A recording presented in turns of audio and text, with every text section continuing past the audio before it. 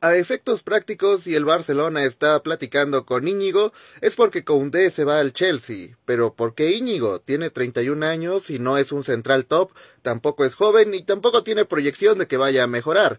Encima, el Athletic pide 60 millones.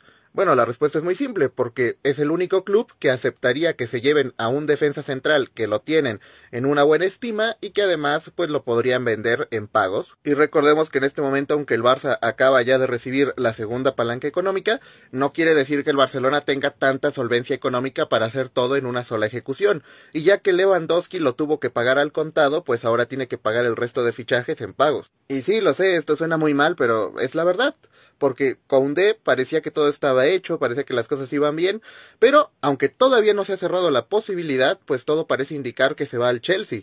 Mira que ayer había noticias muy buenas de que no, se subió a tal avión, ya está negociando con el Barça, está todo hecho, y ahora de pronto nos hablan de un tal Íñigo que su madre lo había escuchado alguna vez, fuera de la gente que sea española, que obviamente pues, le gusta la liga española y lo sigue, así como a mí me gusta, no sé, la liga de mi país, la mexicana, igual y conozco un par de defensas centrales, pues no quita el hecho que a nivel internacional este Íñigo no es nadie. Y mira que yo no soy mucho de estar de acuerdo con la página Iniestazo.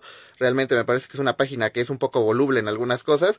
Eh, a ver, el administrador, o uno de los administradores, porque tampoco es que sean todos este, eh, con este tipo de decisiones, pero en esto estoy 100% de acuerdo.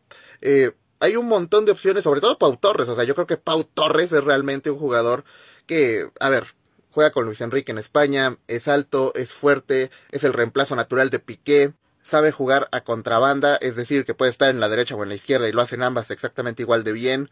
No lo sé, creo que el Barcelona se está un poco equivocando al ir por Íñigo, pero pues sería una putada que al final Koundé no quiera venir al Barça. Ahora, si al final Koundé sí que viene al Barça y es para traer a los dos, eso sería maravilloso, pero parece un escenario demasiado idílico y poco realista.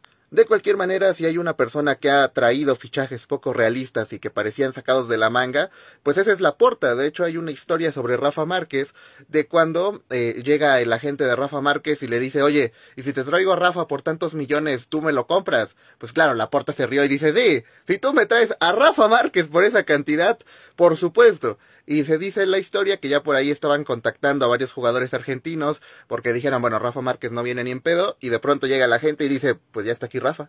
Claro que ahora con todo el filtraje de información, pues ya todo se sabe cuatro o cinco días antes, ¿no? Antes te tenías que esperar hasta que el club los quisiera presentar y no tenías ni idea de quién iba a entrar a una sala, ¿no? Pero bueno, era lo bonito de, de otros tiempos. De cualquier manera, sea quien sea que venga, es evidente que el Barça necesita más defensas, o mejor dicho, otros defensas, porque si tu defensa titular se come un gol por partido, pues no vamos a llegar a ningún lado.